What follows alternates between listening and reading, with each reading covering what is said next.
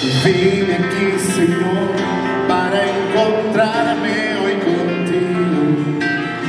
Tú eres mi defensa, mi escudo y mi abrigo. Jesús, mi alma tiene sed de ti, Jesús. Tú tienes sed de mí. Aleja de mí las